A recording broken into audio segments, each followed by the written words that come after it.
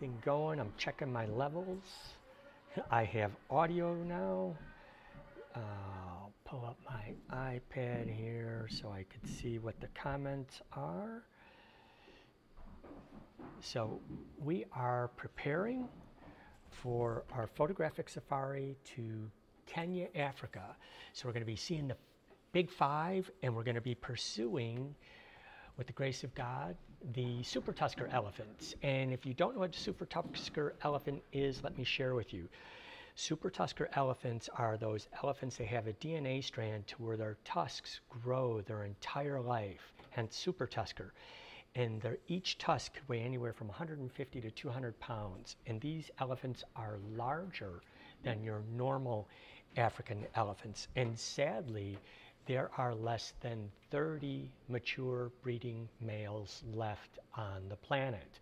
So organizations like the Tsavo Trust, they're doing everything they can to protect these remaining super tuskers and make sure their DNA gets passed down and to ensure that these amazing, giant, beautiful beasts do not go extinct from our planet. So that's one of the goals of our photographic workshops is that everybody can share their stories, share their photographs with their audience. And the more awareness there is, the more uh, passion there is for creating and saving wildlife refuges and using your photographic talents and gifts for conservation. All right, so let's see what I can do. I think uh, one thumbs up, so hopefully audio is coming through all right. What I'm going to do is I'm going to share my desktop. So I'm going to go through the lay flats of what I've packed, what I'm bringing, and to always be prepared for, for uh, everything. So here we go. Let's come up here get the desktop going. Desktop and book. Okay, I'm going to share Photo Mechanic. There we go in the monitor. Everything is up. Keep checking. Hey Mark, audio's great. Thank you for letting me know. I greatly appreciate that. If you have any questions at all, please uh, drop them in the feed.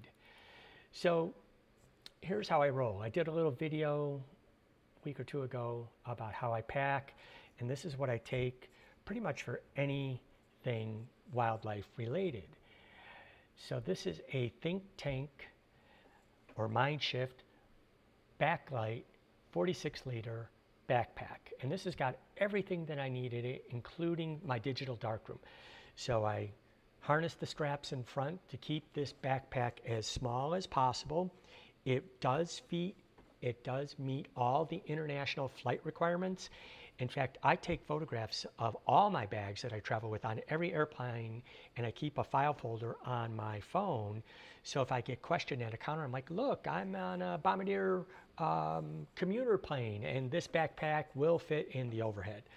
I also have these inexpensive trolley wheels that I put under the backpack, bungee it all together. So now this is my rolling bag. And then if I need to, I use uh, my Think Tank shape-shifting bag for overflow. So let's get into what's inside there. All right, so here's the contents of the bag. What's nice about the backlight is this top pack can come off. That could be your day pack. You could put all your essentials in there. We're going to have a period where we're going to fly from bush camp to bush camp, but our luggage is going to go by Land Rover. So we have limited amount of weight and space that we could take on the bush plane. So we'll take our overnight ditty bag in this little uh, top sack. You can put change clothes, whatever you need in there. And there's plenty of space in this backlight backpack and it's really comfortable. I've hiked with this. So I have the Canon 600 millimeter EF lens. I still have not uh, upgraded or changed to the RF lens because the EF version 3 is just so fantastic. And the only difference between this lens and the RF version is they permanently put on an RF mount on the back end here. So at this point in time, I see no reason to do it. I am hoping, I was at Canon Expo about eight years ago, where they had a 600DO prototype there, so it was much smaller. Hopefully that'll come out, or a 600 with a built-in 1.4 extender. That would be great. Um, my other lens that I will have is the RF 100 to 500, 24 to 105, a 15 to 35, and then I've stacked all my extenders, and I am bringing two EF to RF adapters because if one breaks and I drop it, gets damaged, then I will not be able to use the 600, so I'm bringing it back up. With that, I can use my EF200, I mean my EF2 times extender, uh, 1.4 extension tube, and I'm sorry, a 12 millimeter extension tube and a 1.4 extender. I have all my batteries. Remember, when you travel, your batteries cannot be checked in the hold. They have to be carried on board with you because they're afraid that they could catch fire in the hold. I will be bringing three EL1 speed lights. This is the Canon Speedlight transmitter. And then I have these uh, rain sleeves for dust or rain if we get caught out in the elements. They're quick and easy and they all fit either in any of the side pockets or in the top. I will have my three bodies, which is actually going to be an R5, which I will use primarily as a remote camera so that we could deploy it out and hopefully animals will come past it for that nice low angle view. Of course, two R3s, those are my go-to main camera bodies because they are just so responsive, so quick, so intuitive and fit so well ergonomically in my hand and intuitively with my brain. I also have a blower bulb, a Giottos Rocket blower bulb, a little shaving brush, a couple of headlights that do have the capability to project red light. So when we're out at night for our night vision, once our eyes adjust, it won't spoil that. A couple of carabiners. So all of that fits within the backpack along with my digital darkroom. So 16 inch MacBook Pro, I will have a hub with me so I can plug in all my different devices. I have two SanDisk SSD drives to back up in the field. Sorry about that. Two SanDisk card readers, a Tether Tools uh, power bank. This little guy here is a power supply that will power my MacBook Pro. It will charge watches, phones, all those devices from one plug. We have all of our identification, passports. Remember to always copy the contents of your wallet, copy your passports, put them in different bags, all your visas, um, medical information, all of that. Now also, it's a good idea to have it on your phone and even upload it to Dropbox. All my cables are nice and neat and tied so that when we go through airport security, I take them out of these two think tank cable managers and everything's very tidy and easy to inspect. I have a USB flash drive so that we can share files between computers during the workshop for critiques in the field. And these are Gego transmitters, GPS transmitters that will actually, my clone is starting, that will actually work whether a phone is near them or not. So what's great about the Gego devices is they are on their own uh, cellular signal and GPS signal. So I can immediately locate if my bag gets misplaced, lost, or doesn't make it to my destination. Whereas if you're using an Apple AirTag, you're relying on someone with a phone to come within proximity of your bag and then report its location to you. So that's really helpful to have.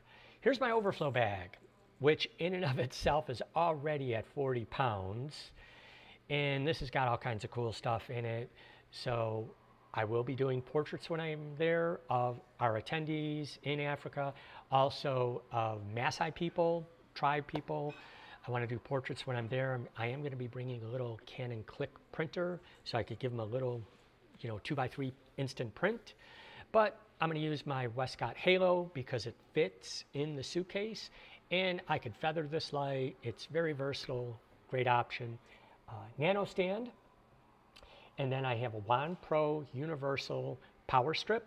This is not a um, transformer. It is just a power strip. So this is universal and I do have my plug that plugs into it and I have it for every country that I've visited. So Great Britain, Africa, Europe, US, everything. Now this little device here this is an actual uh, intelligent uh, power converter by Bestek. So it has a smart transformer. If you plug something in that needs power step down, it will step it down. But all the devices I'm bringing are dual voltage, so they work in the US and they work in Europe and Africa, so I won't need that transformer to step it down. It also has four USB ports, and as you can see, it comes with a European plug, and then you just put your African plug or whatever country plug you need on it. Above that are Pocket Wizards. I will be using Pocket Wizards to fire a remote camera. So need be, possibly even if I run into any radio frequency interference, they're my backup radio signal for my Canon EL1s. I have a Leatherman. Remember, any type of uh, sharp object, sharp tool has to be checked. Wrong way. Has to be checked. I am using the interval timer for the electronic cable release for long night exposures. You could use your self timer, or you could uh, use the interval timer built into the cameras now. I'm bringing a Platypod Extreme and ball head instead of a tripod. Again, you can only bring so much stuff with you. Here's the Platy Ball. Here's my universal uh, plug adapter, which I will be using during our layover in London. So if I need to download, edit, charge my phone, anything of that nature, you can see it's universal. I will be bringing several Platypod Ultras. So if I want to strap a flash to a tree, the vehicle, anything like that, I could do it. I'm bringing some microphones because I want to capture the sound. We are going to be there during the Great Migration. So I have microphones. I have a Ninja 5 Plus monitor and recorder so that I can simultaneously capture 4K video while taking still photographs with any of my cameras. And it will record to the external hard drive within that monitor without causing the camera to overheat and without eating up storage space, storage space on the memory cards. Of course, your chargers for the R3, R5, and EL1s. Yes, I will be bringing a light meter because when I deploy the remote camera, I just want to check the exposure there.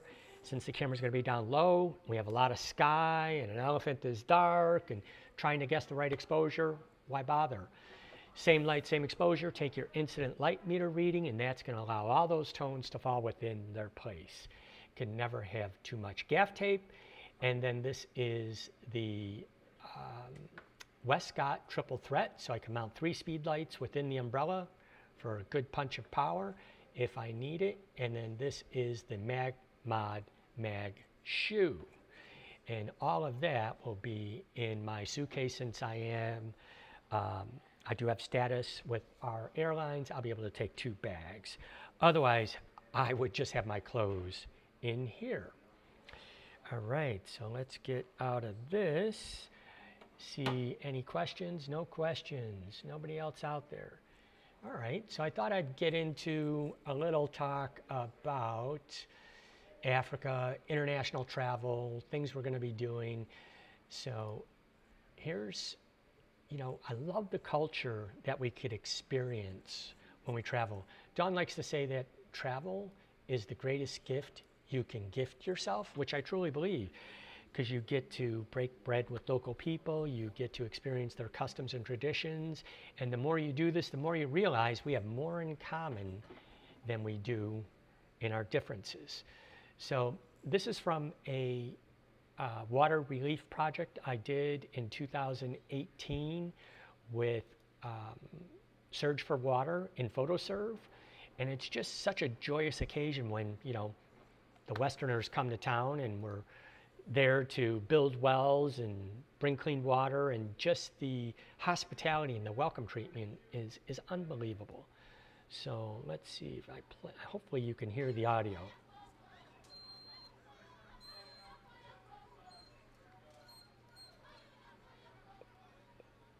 Mark, if you're still there, let me know if you could hear the audio for this video. So what I like to do oftentimes is use the iPhone for the 4K video, and I could even put it on top of my camera while I'm shooting stills. I'm primarily a still photographer. So that's, that's my goal. That's what I've done my whole life. But, you know, we can still capture video in the same manner, and, it's, and it's 4K. So pretty outstanding. So again, the celebration, everybody's just so welcoming, just wonderful African culture. And this is Uganda, not um, Kenya, where we will be going. But every place that Dawn and I have traveled within Africa has just been so warm and hospitable. All right, so let's switch to a different one. Uh, here's a hide that we were in in Botswana in Mashatu. So this is a shipping container that is sunk into the ground. So we are eye level with a watering hole and the doors open up and we can stay in here all day. It's quite comfortable. And we have coffee, we have biscuits, but then all the different animals that come to the watering hole is, is just amazing.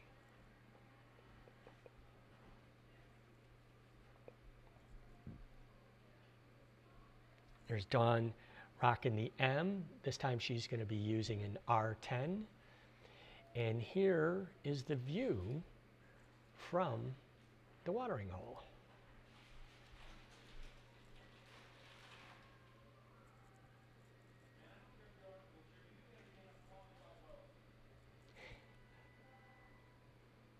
So magical.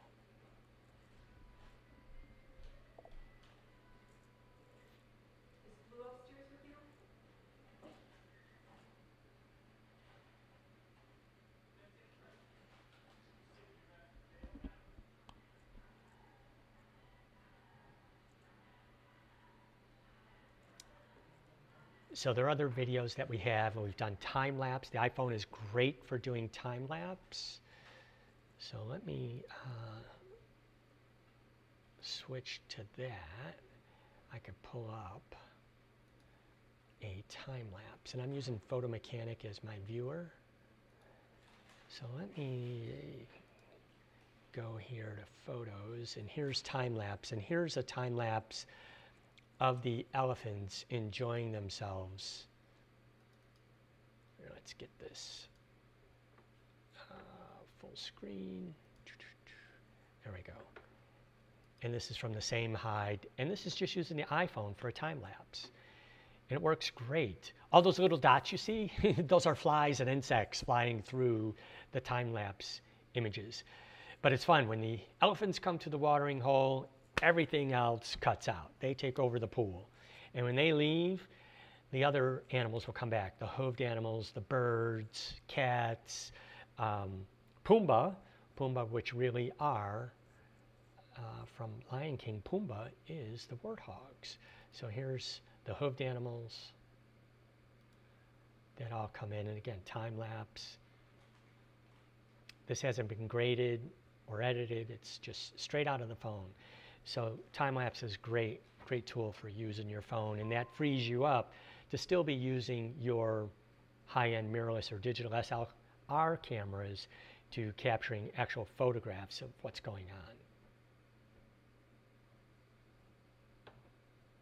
Very cool. All right. Let's go back to uh, Photomechanic. And we'll just go kind of right down the line here. So these are some photographs I did with PhotoServe, where we were there to install wells, make sure the water is still clean, do testing.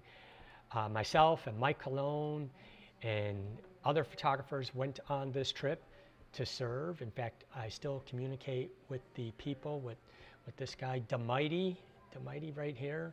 I was just uh, WhatsApp mes- messaging him, letting him know we're going to be in Kenya, but he is in Uganda.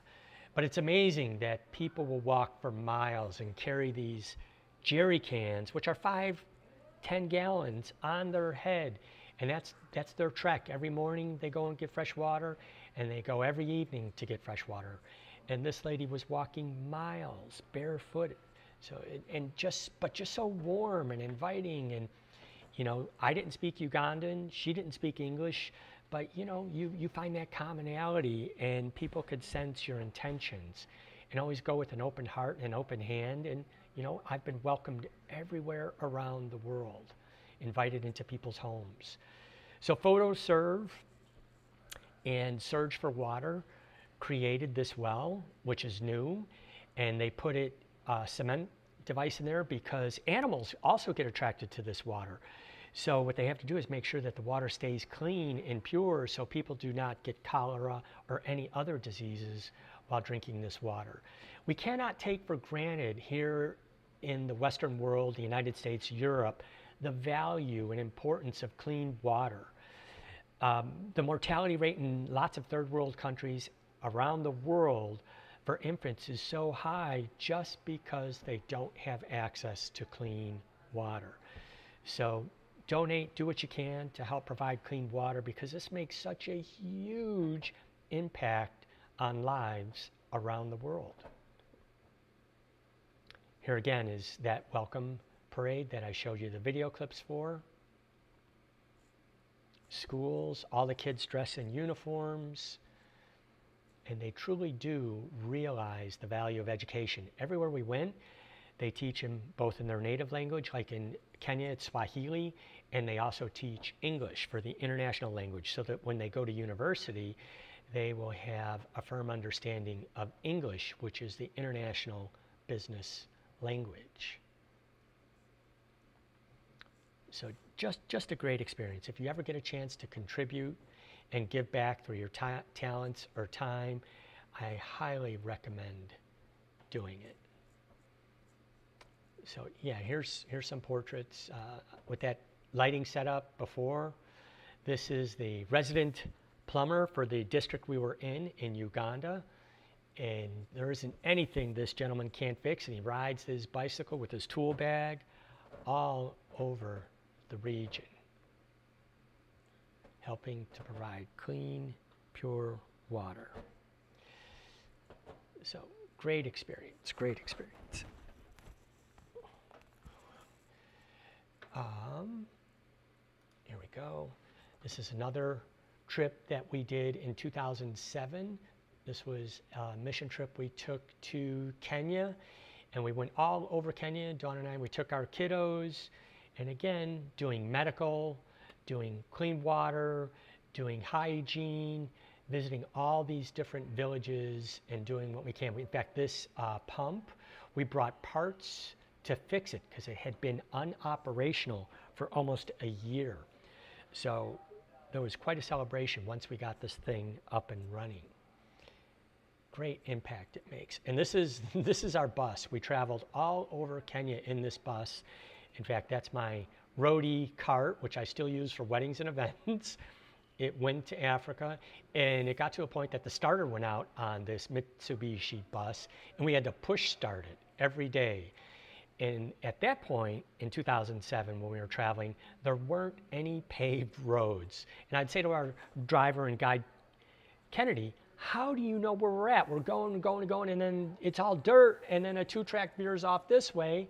And next thing you know, we arrive at our destination because it's not a road on a map. Where now, the group we're going with this time, most all of the roads between destinations are paved and they have much better infrastructure because there's been investments. In fact, Nairobi has become almost a uh, Silicon Valley of Africa. There's quite a lot of technology that's going on in high tech in Nairobi.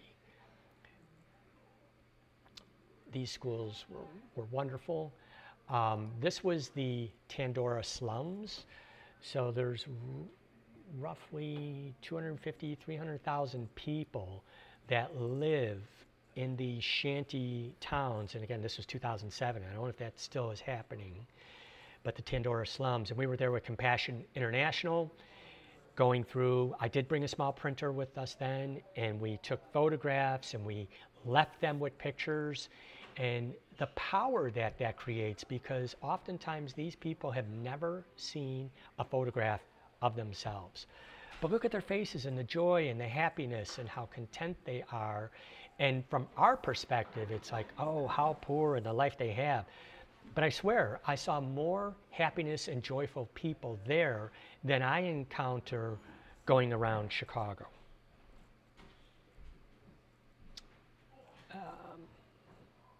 So very fun. We brought soccer balls with us, played with the kids, we played soccer. But just, just amazing. The smiles, the joy. With all the hardship and strife, they really embrace the joy in life.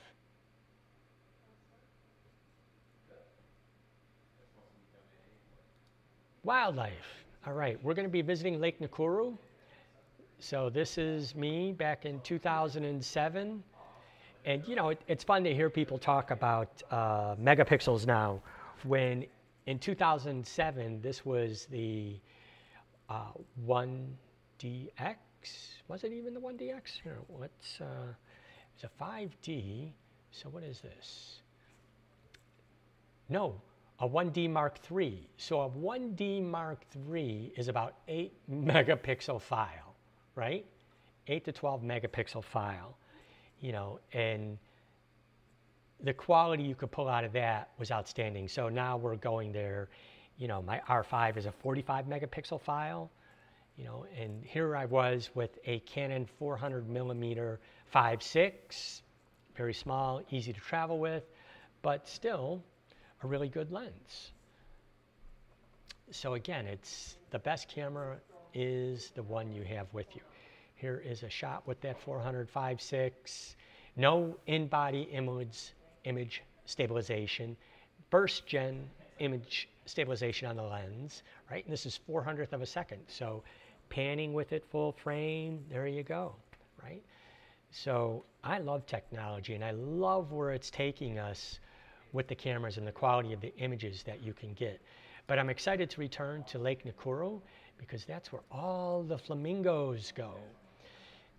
Huge amount of fl flamingos and secretary birds and storks. This stork is about five foot tall, just absolutely incredible. So good times. So we will be there in a week. So I'm so excited to be at Lake Nakuru. You've got your zebra, all types of waterfowl, hippos, um, Cape buffalo, and of course there are lions in the area. There's leopards in the area. You know, but on this day, these Cape buffalo were just taking in the wonderful weather and just relaxing by the cool water. So it was, it was just a great sight. And then later on, we hiked up there's a bluff that you call, could overlook. It's called Baboon Bluff. And then you could look down upon the flamingos, you know, in the scene. So it's always nice to look for different perspectives. And this is a 34 mil, 35 millimeter lens. So this baboon was came up to where we were having lunch at our lunch table. It's like, hmm, snacks, right? So very cool. So Dawn and I are crazy excited to be there, to be back in Africa, and to be back in Kenya. All right, so if anybody has any questions, feel free to drop them in the feed. I'm here, good. Let me get off of my photo mechanic, close that. Yes, I want to close everything and we'll go back to the camera. There we go. All right, so that's it. That's how we pack. I know, always be prepared. Have your backup cameras. Uh, bring a small toolkit. Have backup batteries. Do everything that you can to prepare and anticipate so that if a camera goes down, a lens goes down, you're not done. You know, this is a, a bucket list trip, a once in a lifetime for a lot of people. So be prepared. Back up your images, download, caption, backup, and that way there you won't be disappointed when you get home that you've erased a card accidentally and away went your trip.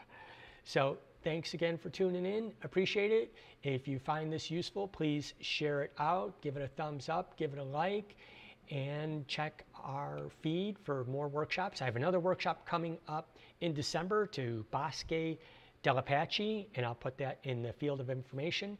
And that's to photograph the great migration of sandhill cranes among other species of birds. So thanks again for stopping by, and I will talk to you later.